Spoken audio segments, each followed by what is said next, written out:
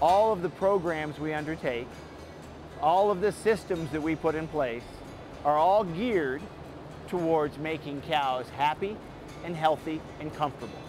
These girls on an as-fed basis will eat sometimes as much as 100 to 150 pounds of feed each day. Our feeding is quite complicated with the cows. I work closely with a herd nutritionist as well to evaluate the feeding of the cows. The nutritionist will come in and design the ration, make sure that the cows are eating the, the best feed possible. I, I would say this, that if the general population held to the strict standards of, of dairy nutrition, we'd have a very, very healthy society. Their rations are balanced very, very strictly. It's not anything but very, very specific science. We feed them things such as alfalfa hay, grass hay, preserved forages that's called silage. The cows are usually fed two to three times a day.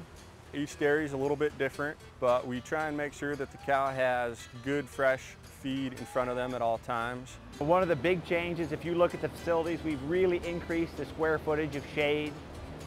When I came into practice, hardly any dairies originally had fans and misters. I don't know of a dairy these days that's not cooled. Arizona is a very hot place to raise cows if you spend any time outside, but they do manage it fairly well. The cows always have access to clean, fresh water. It's amazing, cows will drink upwards of 50 gallons of water a day, so making sure that they have good, clean, fresh water available actually does quite a bit to help keep the cows cool. The fans and the misters are also a plus to keep them cool underneath the shades. The next step, and this is an example of it on this dairy here, where they actually covered where the animals eat and sleep, so they're never very far from feed. This is what's called a freestall dairy, where each cow has her own individual bed with a fan and mister that covers just a few stalls. So they, they basically have their own personal fan and mister blowing on them. We want our cows to produce but we need to make sure that they're happy, healthy, comfortable cows. We want to make sure that not only do they get enough resting time, but that it's quality resting time.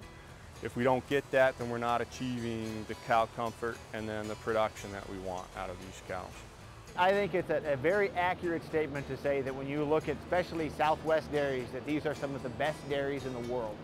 You know, they're, they're, they're without question some of the best dairies in the United States. That makes them the best dairies in the world as far as how cows are cared for, how the businesses are operated. Drive around, take a look. There's no, there's no doubt.